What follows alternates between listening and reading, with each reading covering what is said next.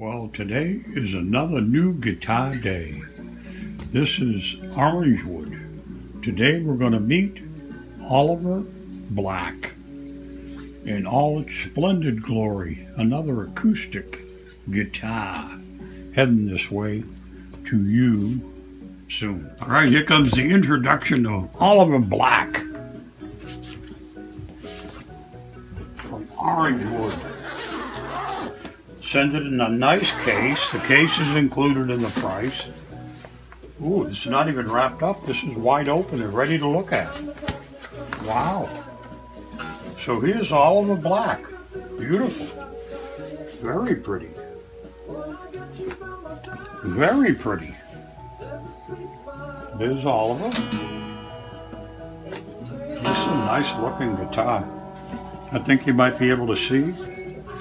Uh, it's a solid wood top anyway, maybe not the back and, and sides, but it's got a solid wood top.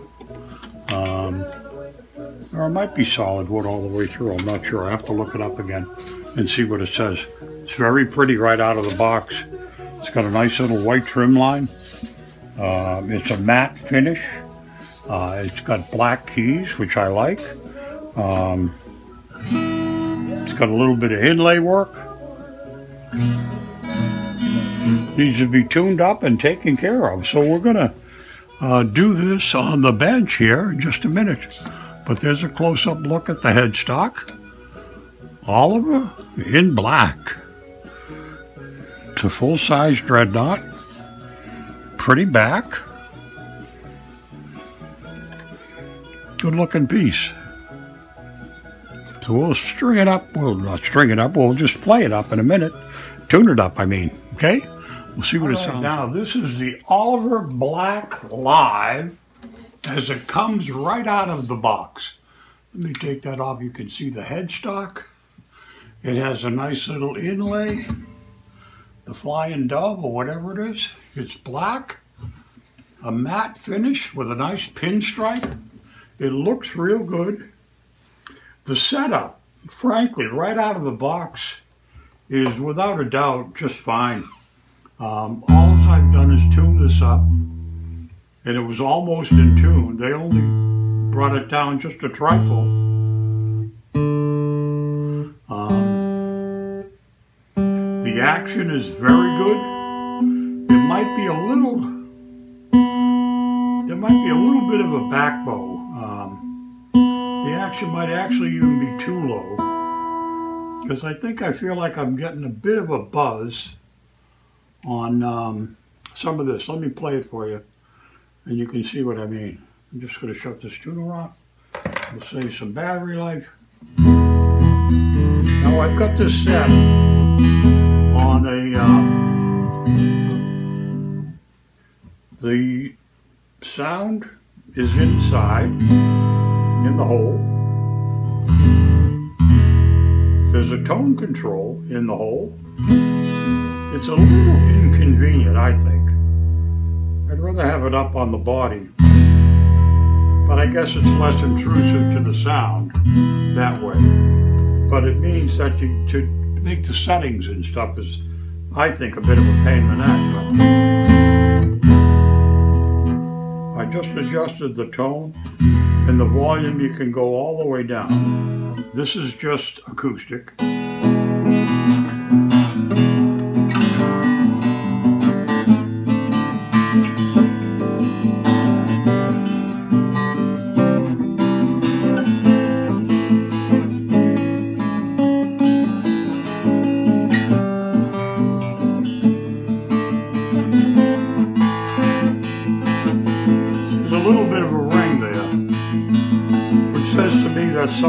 Strings, uh, this third string probably is a little, a little too close. So I may do a truss rod adjustment. I'm going to change the strings um, just because I'm going to go all black. And I'm going to blacken the nut. I'm going to blacken the, the uh, bridge. This is going to be a totally black guitar except for the uh, tuners, which are chrome. with black heads. Uh, but it plays pretty good. It plays very good. It's not a Martin, but for a low cost, solid top, particle, not particle board, but, you know, plywood sides. Um, it's a pretty good, pretty good sounding guitar.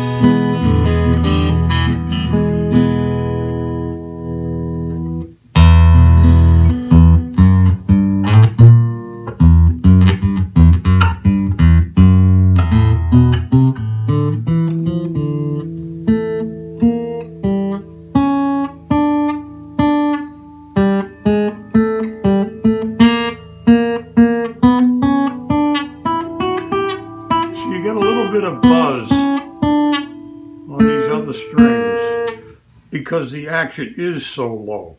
So I think I'm going to do a truss rod adjustment and try to get take that away a little bit from the um, from the fingerboard. And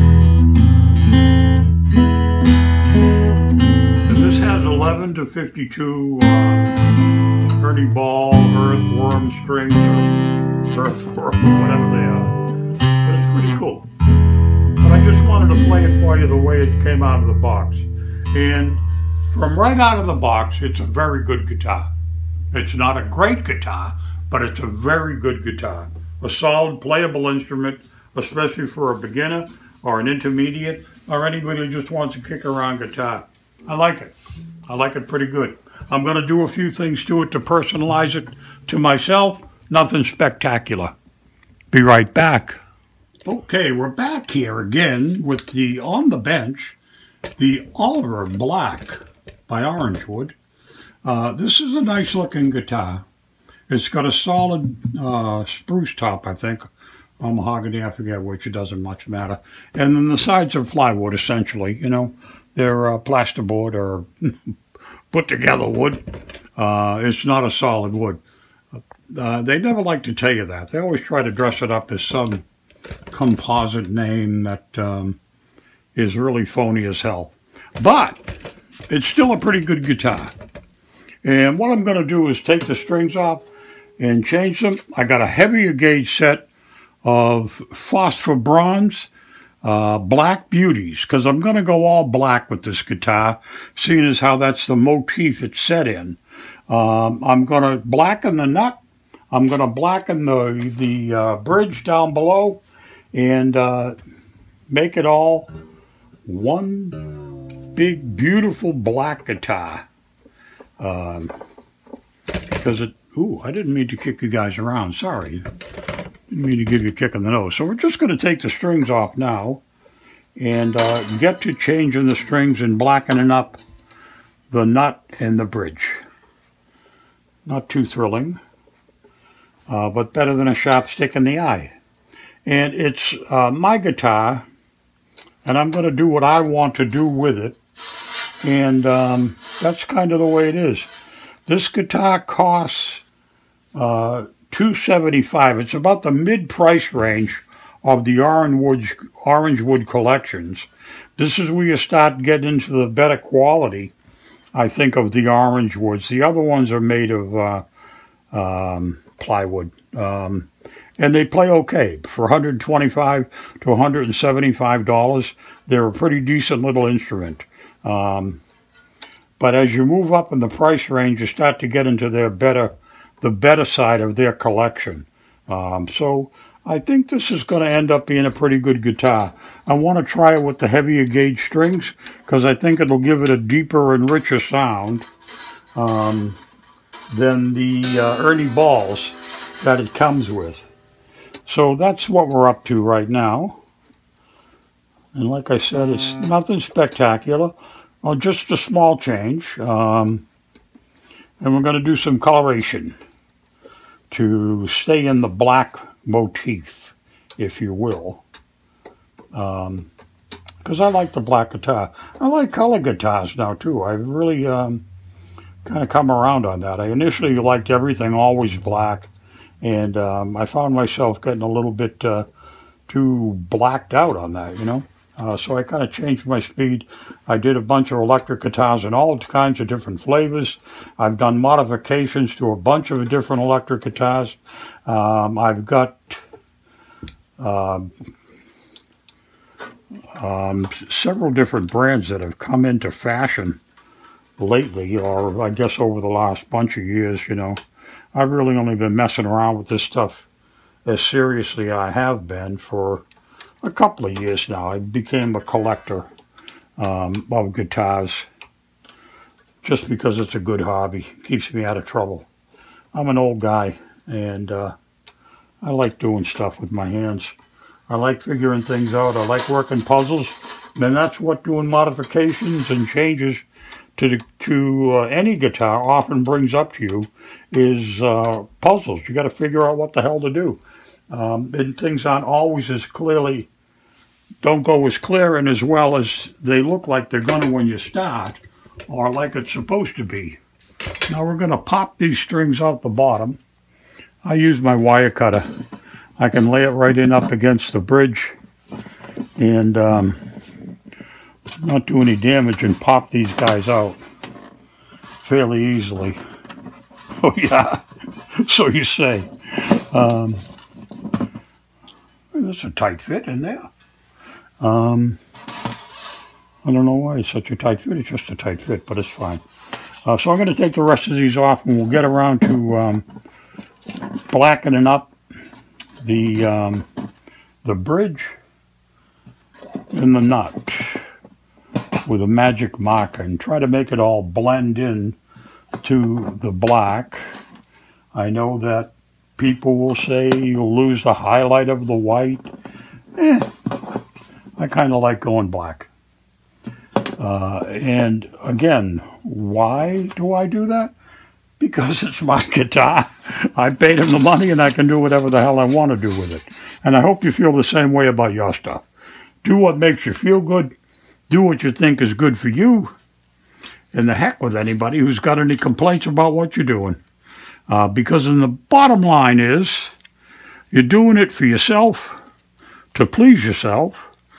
So, please yourself. I'll be right back. Hey, Stevie back again. Now, listen, we're going to take the bridge out. We're going to go inside and just feel. That's going that way. And this is all stuck together pretty good, I think. Um, I'm happy with the height of everything. I don't think I'm going to mess with anything at all.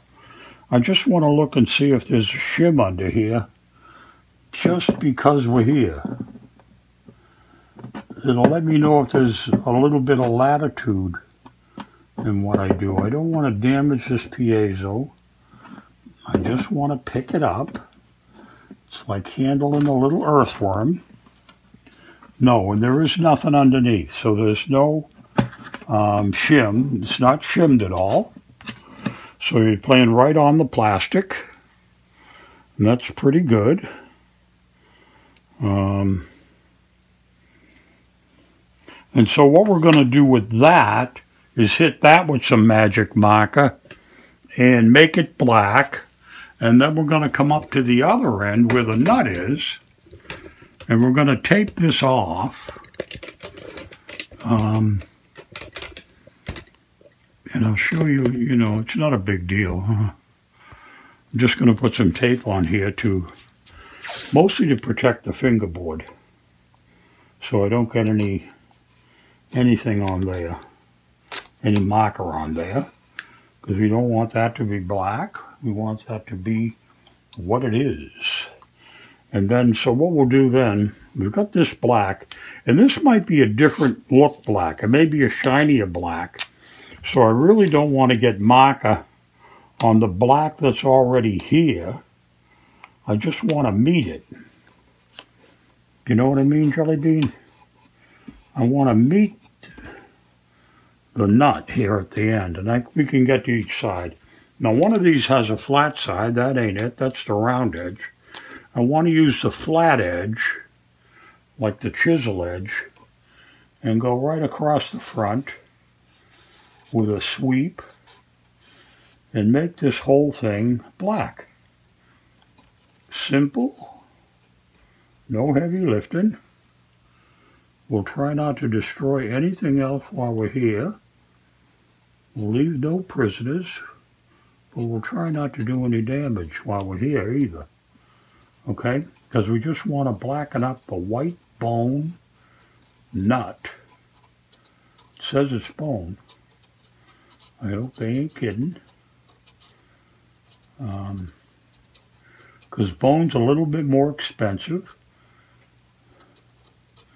And like Leonard Cohen says, I hope they didn't come here to fool you. So we'll get that as black as we can. Try to get in nice and tight there.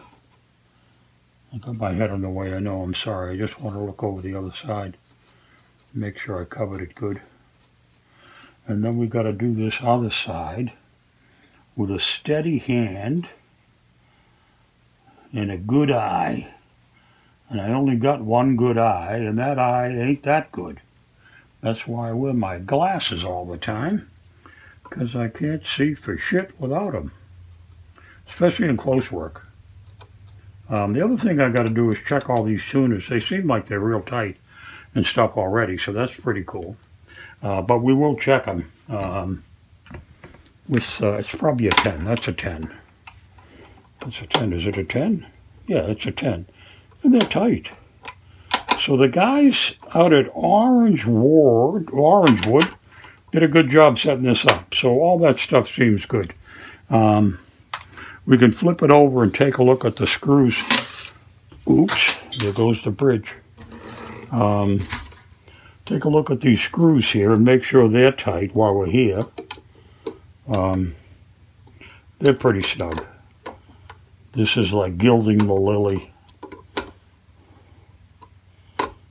There's no protective condom on the back. I don't think there is anyway. If it is, it's a clear. Give it one more scrape with my fingernail. Oh, there is a cover on there. Ooh! So we did find something else to do here. Um, so that just protects it in shipping. I mean, I've seen, I've worked on guitars that were years old that still have these protective covers on the back. I think that's kind of funny, you know. Uh, I know I've, I've done it with my own guitars and not paid much attention and, you know, move right along. And, you, you know, it's five years later and you still got stuff on there that was supposed to come off the day you brought it home. Uh, and that's the end of that. So that takes care of those guys. And we'll tip this over again. No, the piezo popped out. And then we'll take a look with the magic reveal uh, that we'll do all in live time here. It's kind of nice. See how that looks. Pretty good. There's a little white stripe down right by the edge of the fingerboard, and I'm not, going to go after that. It's fine it'll match with the white um, edging. So we're done up that end. We're going to come back down here and deal with the uh, um, the bridge that I got to chase up off the floor here. Went somewhere. There it is. We found it. Thank God. It's like Columbus discovered America after everybody had already been here. Uh, a great discovery. He found a place where people already lived. they just didn't know there was anybody else here. Oh, I'm sorry. I didn't know you were home. We're here to take your land and your property and everything you own. Not very nice guys in the long run. All right, so let's see if you can see this. Yes. So we're going to make another blow for the dock side. We're going on the dock side again. We're going to go black with the bone saddle. This is a cheap and easy way to make a black, a white thing black. I don't suggest you try this on any anatomy parts, Well, you'll really be sorry. But here on your guitar, if you're in the mood, you can convert a white piece of bone to a black piece fairly easily and economically. And rather than having to buy and pay the money for another saddle, you can keep the one you got and just blacken it up. And get a little bit more black in that corner. Now we got to let it dry before we touch the other end or we'll end up with black fingers. And that's not really what I want to do. I don't want my fingers to get black if I can help it. So we'll move down a little bit tighter and we'll challenge ourselves to try to get this as good as we can, as easily as we can.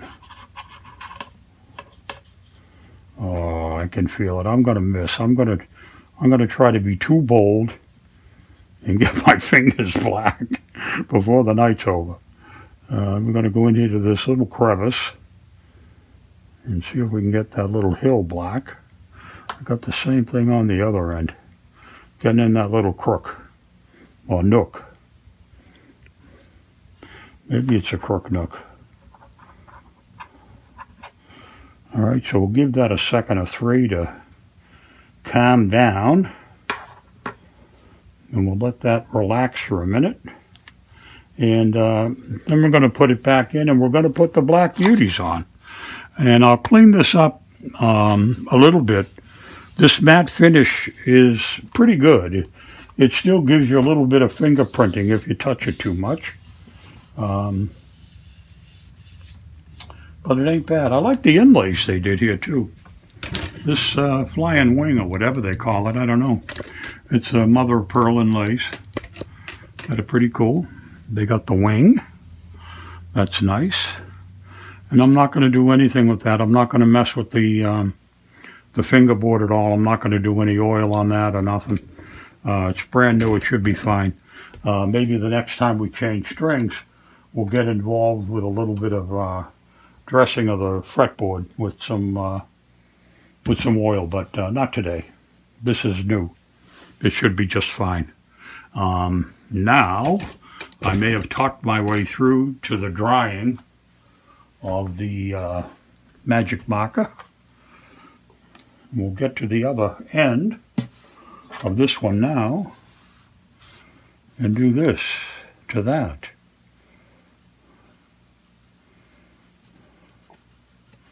I don't think that's coming off in my hand on the other end while we're distracted up here. I think it's still staying covered. I'm going to do the tip and try to get into that little cleft up here. And we'll do the outside where it's still white. Try to get it covered over. Patience is the name of the game here. So that's going to go back into the slot.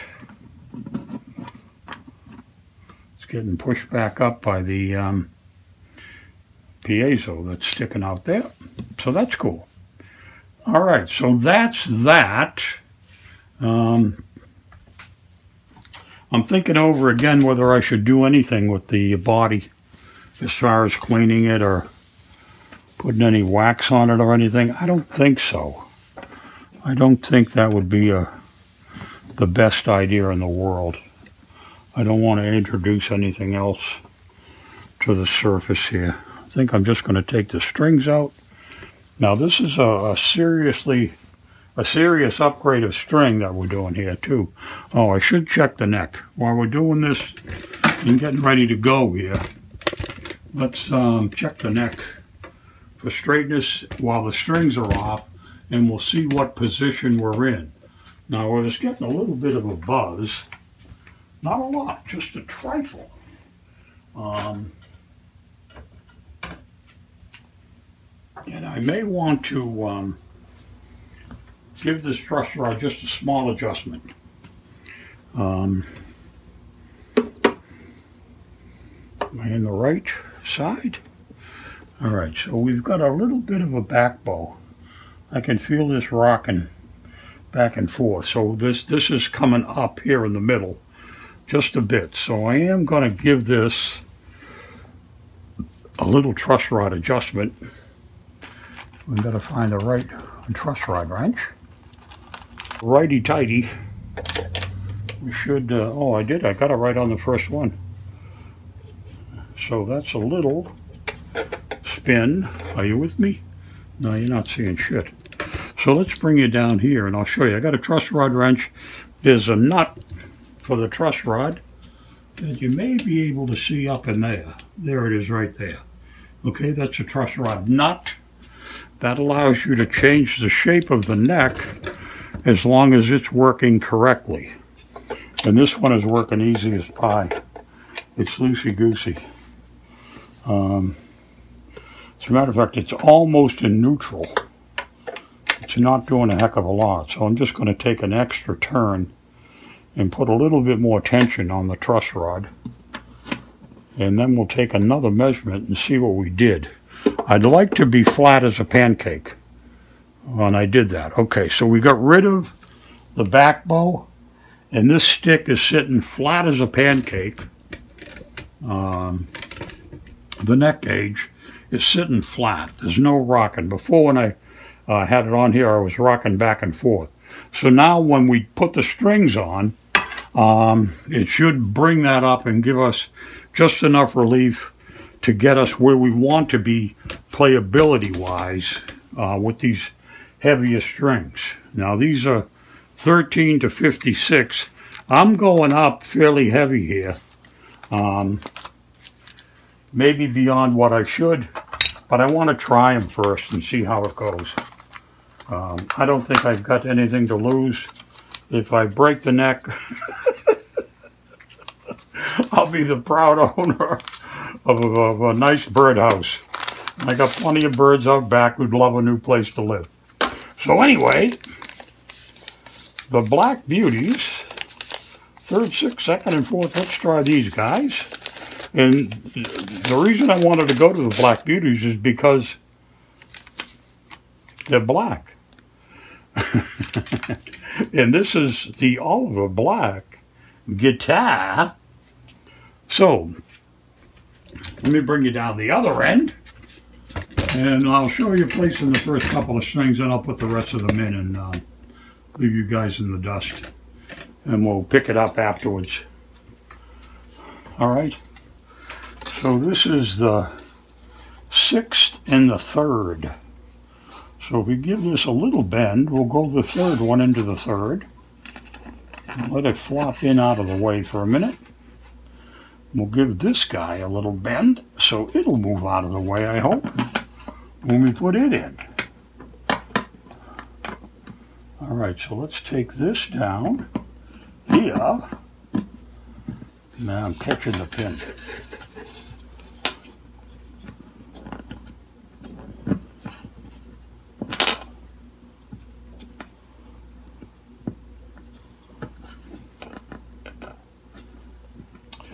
Nice where you got the strings off. You can mess around with this a little bit um, and try to get the pin placement good. Okay, that's that. I got to put the piezo in. It's wanting to come out. It's wanting to work its way up, as they say. So we're going to bring that down, and I think I may plant this one just to um,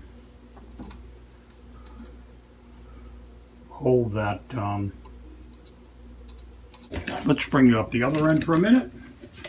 And we'll do this next number three string just for fun.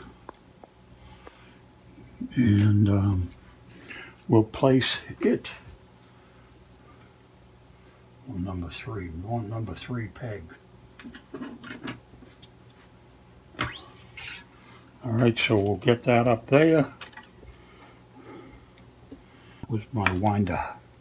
You can't see me, can you? Let's bring this down. We'll show you what we're doing up here. Big thrills, huh? So we'll wrap that around that away and get this going down under from now on to finish the wrap. I should get my power screwdriver to make this job simpler, faster, quicker, smarter, easier. Smarter, not harder. Okay, so we got that down where it belongs. And we'll finish tightening up that black string onto the Oliver Black Orangewood guitar. This, the six strings that are placed, and that'll give you kind of an idea of what it's going to look like. All right, why I like the black to try to just keep the black color going. So, right, so the strings are all on now. That's the Black Beauties. And that's a fairly heavy gauge set of strings. Sorry about you around. That's 13 to 56 um, in basic black. I checked the uh, string height and we're at about 464ths. If you put a quarter there, there's just a little. So we're a little higher than 464ths. I did check it with a gauge. I could take a little bit more um, relief out of, ooh, excuse me, out of the neck, but I think I'm just going to leave it alone for a day or so and see how it all settles in. But it looks like it's in pretty doggone good shape right now. Okay, so we'll give it a little bit of a play just to give you a demo. And then I think I'm going to do a Leonard Cohen piece as an introductory song for this black guitar and see how that goes. Okay, um, let's run through a quick tune. It's in tune right now. You got to cut the strings off, but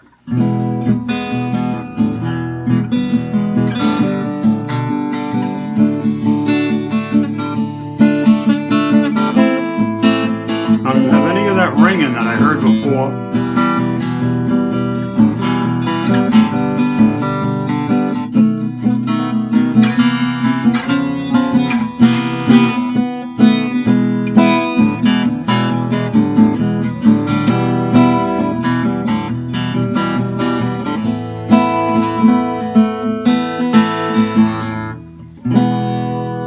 kind of it. So it's all together now. I got that one pin popping a little bit. I may have to reset that. Uh, but it's looking pretty good. Not bad. All black, black pins, black strings, black nut, black bridge. Pretty good. Pretty good indeed. I like it. It plays nice. It sounds nice. Um, is it worth 275 Probably so. You know, uh, like I said, it's not a Martin, but it's a nice guitar. There we go. Done for now. It's over. I got some black strap buttons too. They're going on. And there they are. The black strap buttons. Beauties. Well, there's the Oliver Black. And my shop assistant, Vector, slept through the whole thing. He took a nap. He was done pushing all his stuff around. He's quite a guy. And this is the Oliver SBK Live Black. Orangewood. Nice guitar. We just changed the strings over and did a little bit of an adjustment on the neck. Uh, made it look really good, I think. Changed things over to black, to black, to black. Um, I played it. It plays good. We'll play it again.